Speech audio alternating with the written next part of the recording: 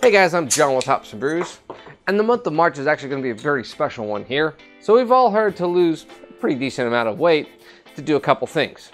Work out, diet, and pretty much cut out alcohol. Well, there's been a couple studies saying that you don't really have to cut out your alcohol. And the craft beer industry has been trying to lean toward the people that are trying to stay fit, but still want to indulge in their, well, beer drinking habits.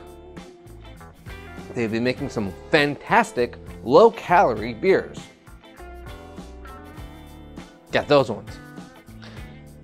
Anyways, so what I plan on doing for 30 days is basically a moderate morning exercise routine, 20 to 30 minutes for five days a week. Dieting, well, I'm not really going to stick to too heavy of a diet, basically my standard routine that I normally already do, but pretty much be self-conscious of what I'm eating. Obviously, I'm not gonna go for that triple cheeseburger, quadruple cheeseburger, extra bacon, large fry, and supersize everything. No, I'm going to probably go for, okay, look, I should probably have chicken today and some rice and broccoli. That's what I'm gonna go for.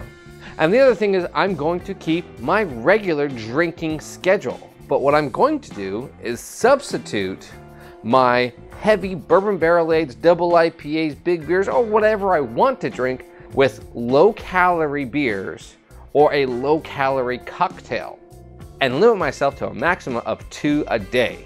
This doesn't mean I'm gonna be drinking two drinks every day. That means I can only drink two of these drinks in one day.